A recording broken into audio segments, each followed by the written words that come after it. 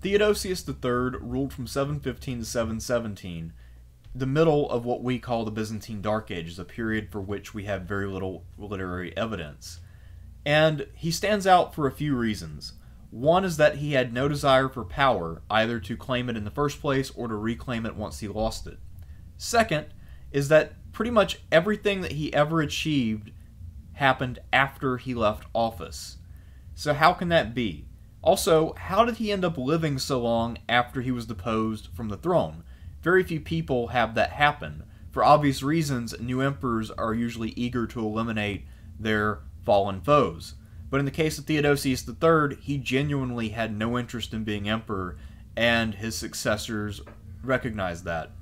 So let's look at Theodosius III, who we can sort of call something like the Jimmy Carter of Byzantine emperors. As is so often the case when it comes to Byzantine emperors who lived during the Byzantine Dark Ages, we don't know a lot about Theodosius's origins or his personal life.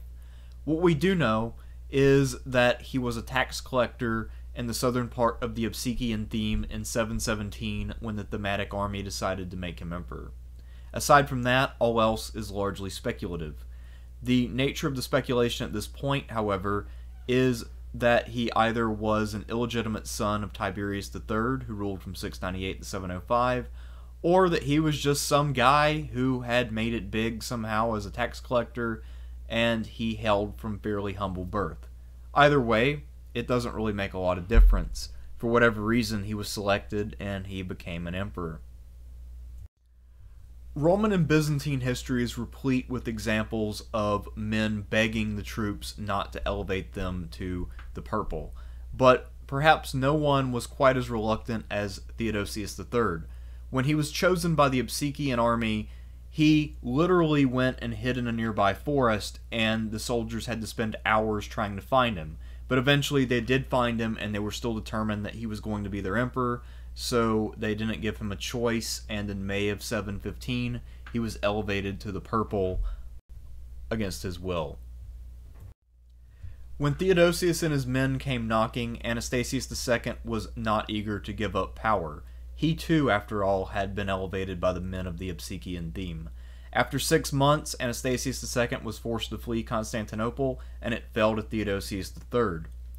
And this is where the patriarch Germanus proved his worth and his loyalty to the emperor who appointed him, Anastasius II. He arranged an intervention which convinced Theodosius to allow Anastasius to retire to a monastery, um, and all Anastasius had to do was recognize Theodosius' authority.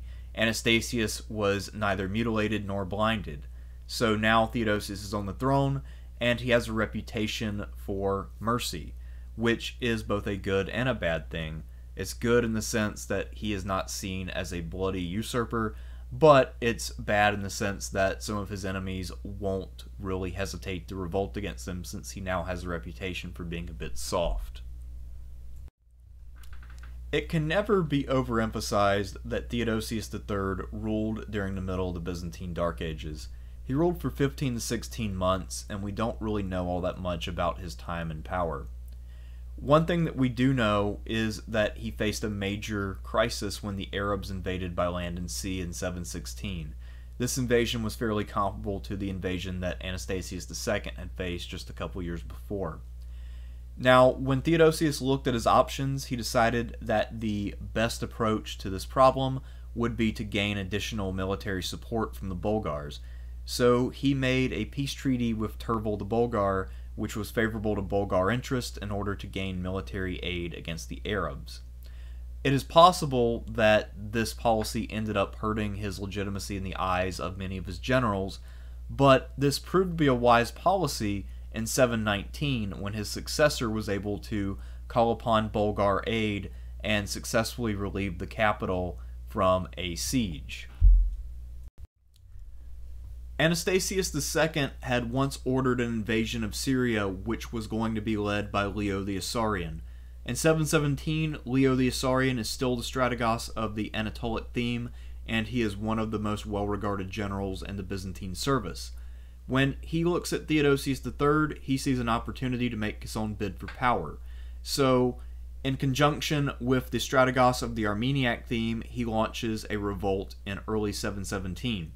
And his bid for the throne is made much easier by the fact that he happened to capture Theodosius' son in the city of Nicomedia early on. So, on March 25, 717, Theodosius III abdicated in favor of Leo III once they reached an agreement where Theodosius III would be allowed to live out his life in peace and his son would be released unharmed.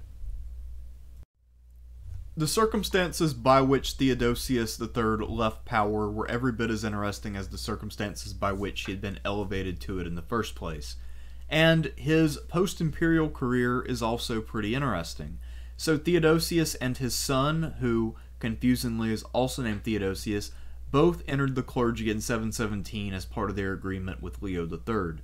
And in 729, either the father or the son, most likely the son, became the bishop of Ephesus. And the reason we think it was probably the son is because this Bishop Theodosius is referenced as still being alive in 754 and attending the Council of Hieria, which uh, would have made Theodosius III quite old by that point, so it almost certainly was his son who became a bishop. But it's still interesting to think about how Theodosius III sacrificed his career as emperor in order to save his son, and then how his son went on to become a leading bishop of one of the major cities in the Byzantine Empire. So, in that regard, I would say that Theodosius III is kind of an interesting fellow in that he actually put his own family ahead of his personal interest and his quest for power and in that way, he's actually somewhat admirable.